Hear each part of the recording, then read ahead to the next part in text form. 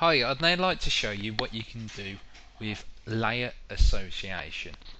As you can see here, I've created a carcass for a cabinet and I have lots of different vectors here.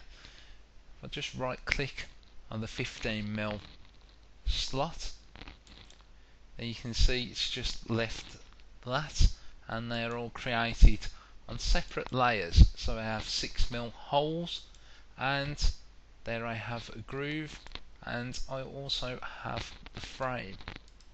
So I'll just turn everything back on and I have also created toolpaths.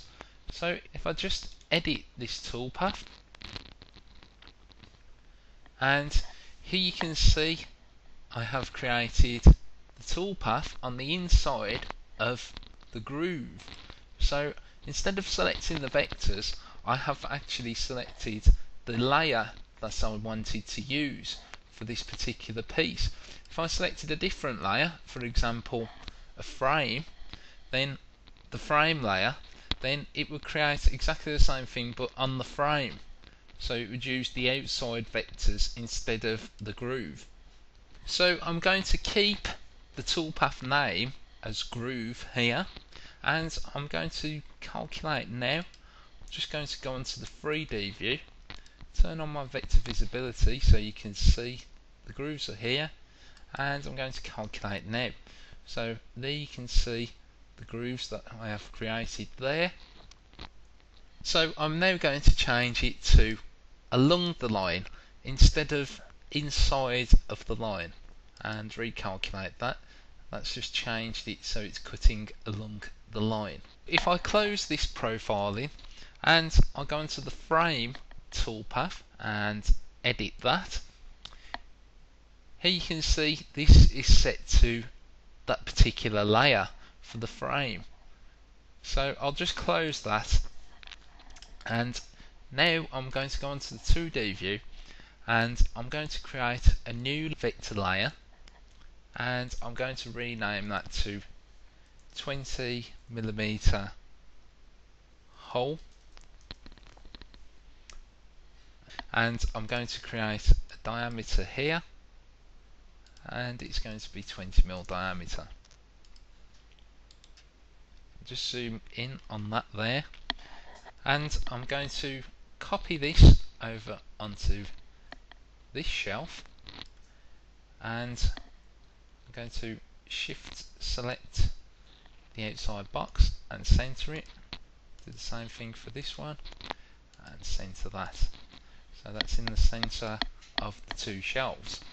I can also change the colour of these two holes by just selecting here under the colour and let's change this into a dark green colour and then OK that.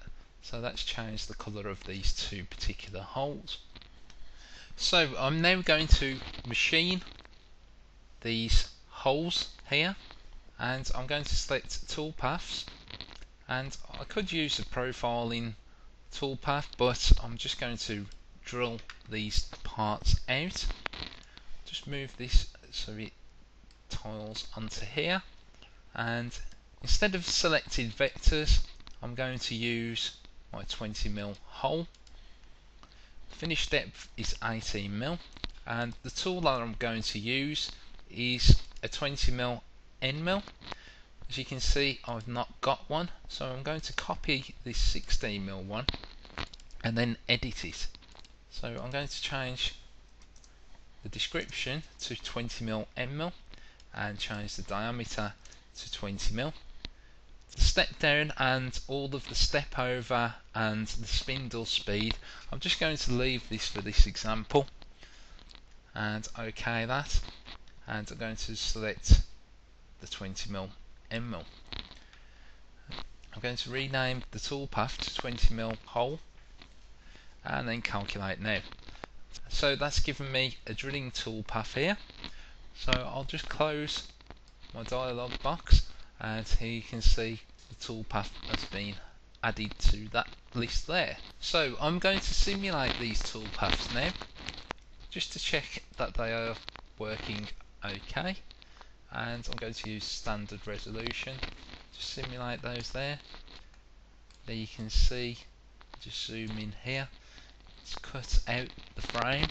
There's my 20mm holes and it's created holes here which are not going right the way through. Created my groove. So that seems to be fine.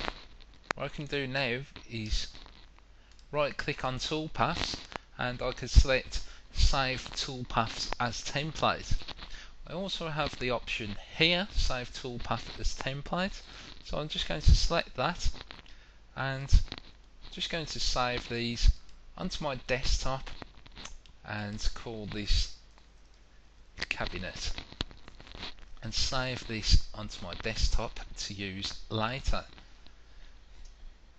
So now with my toolpath template saved, I'm going to go to File and Open and I'm going to open a new model which is going to be the curved carcass model. I'm not going to save this part here and I've already pre-generated all of the vectors for this particular part. If I open up my vector layers you can see I have them on exactly the same layers and what I can do is to load a toolpath template so I'm going to load the cabinet toolpath template that previously I had saved and I'm going to open that and it's given me all of these toolpaths here. So I can right click and select batch calculate and select all of these and click start and it will calculate all of these toolpaths again for me on every particular layer. So there you can see it's created all of the toolpaths using the vector layer association. So this has saved me an immense amount of time from just having to sort out all of the particular toolpaths. If you were to keep on creating drawings that were like this and make sure that they had the same layers, you would only ever need to have one toolpath template. This saves quite a lot of time. As you can see here, the 20mm hole that's still in red, and if I come up to here, it says 20mm hole failed. That's because there's not a 20mm hole layer, and there are no 20mm holes on this particular part. So I can just close that, and I'm going to simulate all of the toolpaths, and click simulate toolpath you can see that's created a new cabinet for me and all that I have had to do is to bring in the toolpath template and then just batch calculate all of the toolpaths. This is a great option for saving time.